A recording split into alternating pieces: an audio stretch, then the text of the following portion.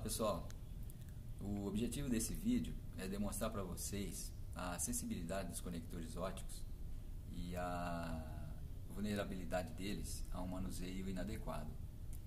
Você desculpa o modorismo aqui da, da, do registro, mas o que importa mesmo aqui é o, o resultado prático da, da, demonstração, tá bom? É, possivelmente muitos de vocês nunca devem ter tido contato com um recurso que seria um microscópio de inspeção que é o que a gente vai utilizar aqui para fazer essa demonstração para vocês, tá bom? Eu vou começar apresentando aqui quais são os itens que nós vamos usar. Aqui nós temos canetas de limpeza de conectores óticos. Elas compõem um kit de limpeza, né? Porque cada uma delas é dedicada a um tipo de diâmetro de ferrolho de conector. Essa daqui seria para conectores com diâmetro de 2,5 que seriam conectores do tipo SC, FC, E2000. É, e essa daqui, exclusiva para conectores com ferrolho de diâmetro de 1,25. E ambas as canetas, elas podem, com a retirada dessa parte plástica, elas podem também servir para a limpeza do complementar, que seria o conector fêmea.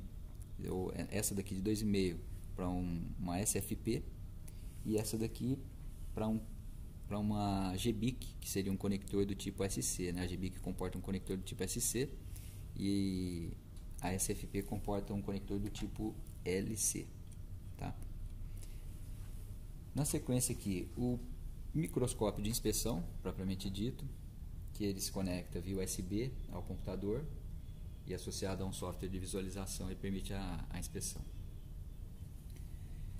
Essa caixinha ela contém adaptadores para o microscópio, tá? para aqueles tipos de conectores que eu mencionei, de diâmetros de 2,5 ou 1,25, e também para conectores complementares dos cordões, que seriam os conectores fêmea, para GBICs ou SFPs. O microscópio permite também visualizar uma eventual contaminação de um, de um dispositivo óptico, SFP ou é, GBIC. E aqui os conectores que nós vamos usar para fazer a, a simulação da, da, contaminação e limpeza, tá bom? Eu vou começar fazendo a inserção de um dos conectores no microscópio, um conector supostamente limpo, tá? Para a gente visualizar como seria uma imagem de um conector limpo. Faço a inserção aqui do ferrolho do conector na, na ponteira do, do microscópio e na tela do computador a gente pode visualizar o, a fibra ótica, que seria essa, esse círculo negro, mais escuro. É, e, e, na envoltória, essa parte mais clara, na envoltória da fibra, o, composta pelo ferrolho propriamente, que é cerâmico, né? que faz a proteção da fibra, a, a, a fixação da fibra no, no conector. Eu vou fazer a inserção de um sinal de luz é, do próprio celular, da lanterna do celular, para demonstrar a dimensão do núcleo da fibra na tela do computador com relação ao contexto da fibra. Então ali a gente pode ter uma ideia do núcleo da fibra com relação ao posicionamento do núcleo, né, com relação à, à fibra ótica propriamente dita tá bom? Tá.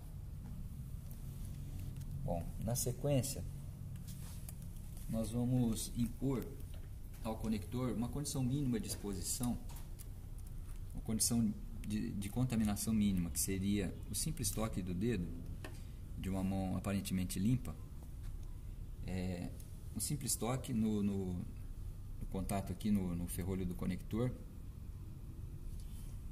e voltar para o microscópio para ver em nível microscópico quanto de inserção de contaminação foi colocada aqui na no conector, tá? É, essa condição é uma condição que não, não, é, é, é não tem controle, é, não existe controle para saber, ah, isso aqui vai comprometer ou não vai comprometer, vai comprometer significativamente ou não vai comprometer. É a coisa de, de acaso, né? É, isso pode comprometer bastante a transmissão de um sinal, a propagação de um sinal óptico na fibra. E esse granulado que apareceu é, é suor que, uma vez solidificado, vai comprometer, vai dificultar a retirada da, da contaminação do conector, tá? Bom, na sequência, nós vamos utilizar a caneta de limpeza adequada para fazer a retirada da daquela contaminação que foi depositada. Dois toques, duas pressões, né? Até o final do curso da, da, da caneta. Voltando novamente ao, à fibra. A gente pode ver que a caneta foi eficiente na limpeza do, do conector. Tá bom? Era isso que a gente queria demonstrar e, assim, espero que tenha ficado bem claro né, a, o quanto de, de, comprometimento pode haver na, na, na, no descuidado né, com relação ao, ao manuseio de um conector ótico. Espero que tenha sido produtivo para vocês. Obrigado.